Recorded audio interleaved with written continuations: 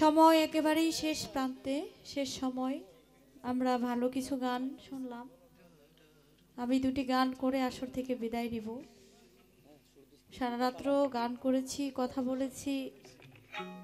যে হাজারো কথা বলে তার ভুল হয়, যে কোনো কথাই বলে না, ভুল তার হয় না। আল্লাহর হস্তে ক্ষমা করে দিবেন। যদি আমি জানি আমার কথায়, আমার সুর ও ছন্দে, গানের ভাষায় অনেক ভুল ত্রুটি আছে। নিজে কোনো ক্ষমা করে দিবেন। হায়াতে মোলাকাত বেঁচে থাকলে আবার আপনাদের হবে, আপনাদের সাথে হবে সাক্ষাৎ। সে পর্যন্ত আপনারা ভালো থাকবেন। আর আমাদের বর্তমান দেশের যে পরিস্থিতি, সকলেই একটু সাবধানতা মেনে চলবেন।